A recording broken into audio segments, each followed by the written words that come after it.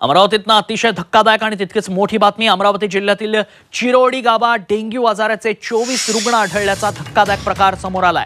यातील एकाचा मृत्यू झाल्यानं संपूर्ण गावात भीतीचं वातावरण पसरलंय.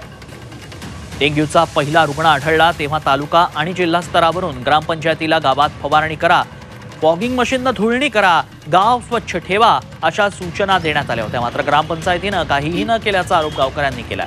त्यामुळे संबंधित दोषींवर सदोष मनुष्यवधाचा गुन्हा दाखल करण्याची मागणी गावकऱ्यांनी केली आहे.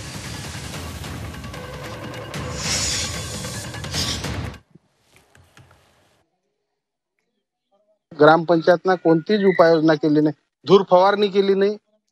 त्याच्यानंतर ते आपल्या पाण्यामध्ये कोणतं हे टाकलं नाही. आरोग्य अधिकाऱ्यांनी पंचवीस तारखेला यांना धूर फवारणीसाठी औषध दिलेलं होतं. आतापर्यंत यांनी औषध टाकलेलं नाही आहे. जे दोषी आहे त्याच्यावर सदोष मनुष्यवधाचा गुन्हा दाखल व्हावा.